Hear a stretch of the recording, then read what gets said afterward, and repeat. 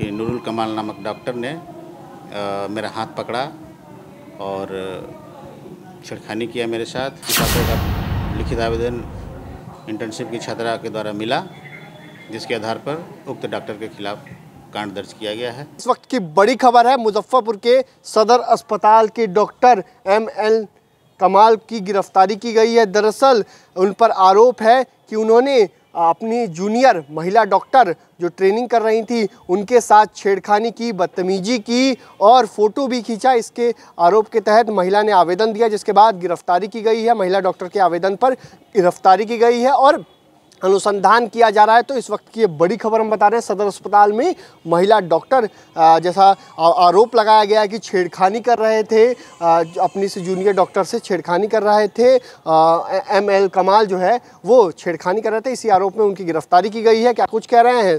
नगर थानेदार, पहले आप वो सुनिए। सदर अस्पताल में एक इंटर्नशिप कर रही मेडिकल की छात्रा ने एक आवेदन दिया है। सदर अस्पताल के ही डॉक्टर के खिलाफ़।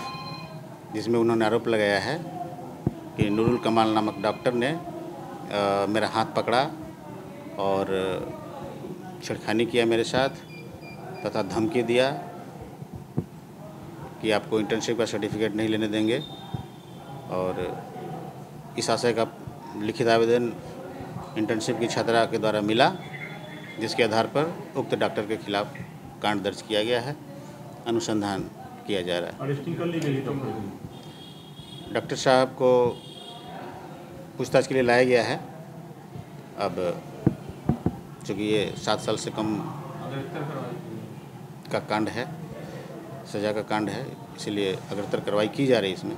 तो आपने सुना कि नगर थानेदार ने क्या कुछ कहा? पूरे मामले को लेकर जानकारी दी है कि विभिन्न धाराओं के तहत मामला दर्ज किया गया है। आज यहीं से उनकी गिरफ्तारी की गई है। यही वो कार्यालय है, वहाँ पर लिखा हुआ दिखते हैं। एम एन कमाल जो डॉक्टर हैं, वो थे मौजूद और उनकी गिरफ्तारी की गई है। दरअसल महिला, जूनियर महिला डॉक्टर जो ट्रेनिंग कर रही थी उनके साथ छेड़खानी का आरोप लगा है। और बदतमीजी का भी आरोप लगा है और फ़ोटो खींचने को लेकर भी आरोप लगा है। तो कई सारी बातों को लेकर आरोप लगाया गया था, आवेदन दिया गया था। इसके बाद एफआईआर दर्ज की गई। अब उनकी गिरफ्तारी की गई है। तो इस वक्त की बड़ी खबर है, छेड़खानी करना महँगा पड़ गया डॉक्टर को और उनकी गिरफ्तारी की गई है। तो सदर अस्पताल के इसी कार्यालय से उनकी गिरफ्तारी की गई है। इससे पहले भी बताया जा रहा है, जो जानकारी है कि पूर्व में उनका विवादों से नाता रहा है। और अब देखना होगा कि अनुसंधान में क्या कुछ बातें सामने आई हैं, क्या कुछ पूरा मामला है अनुसंधान के बाद ही सामने आएगा लेकिन गिरफ्तारी की बड़ी खबर है